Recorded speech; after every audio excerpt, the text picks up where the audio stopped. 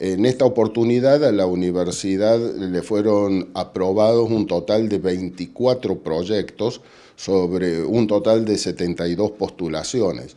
Es decir, que en principio uno podría sacar una cuenta relativamente simple y, ver que hay un 30%, de, un 33% de, de aprobación.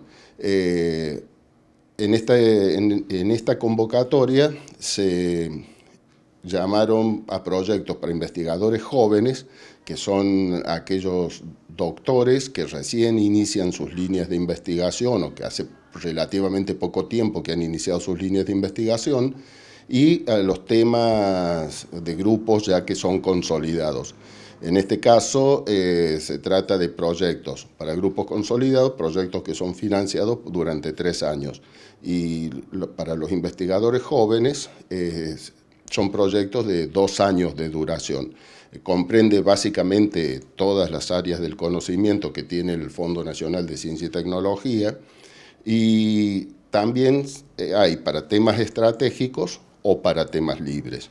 En, en, este caso, la universidad ha tenido presentaciones en todas las categorías, temas libres, temas estratégicos, investigadores jóvenes y grupos consolidados.